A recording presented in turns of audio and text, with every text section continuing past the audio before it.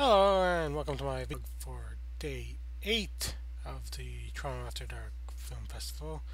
And um, last night was the scary night which played the most frightening films of the festival. Uh, and um, the first film from last night was um, Willow Creek which was directed by Bobcat Goldthwait and it's a found footage film people looking for Bigfoot in the woods.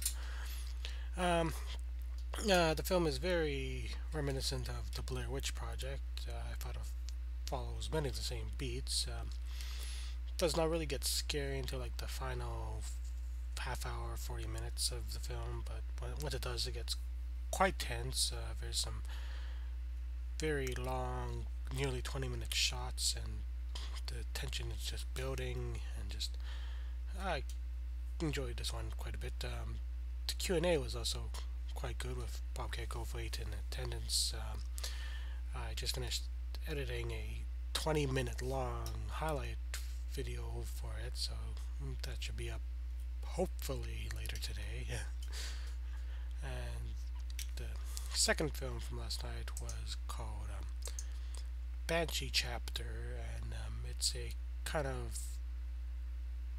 ghost-ish film which is um, inspired by the CIA's MK Ultra experiments from the 60s and it's one of the most terrifying films I've seen in quite a while. It does rely heavily on jump scares but there are quite a few of them and just uh, was definitely a watch. Uh, quite like this one.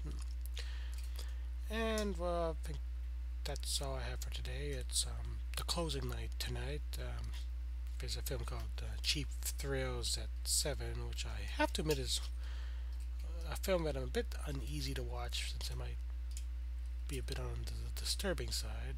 But I'm going to watch it nonetheless, and, but I'm quite looking forward to the um, closing gala film, Big Bad Wolves, which is getting a whole lot of acclaim, and Quentin Tarantino named it his favorite film of the year, so it's definitely going to be a great way to close off the festival, and I'll return tomorrow with my final video blog and uh, discuss those two films. Goodbye.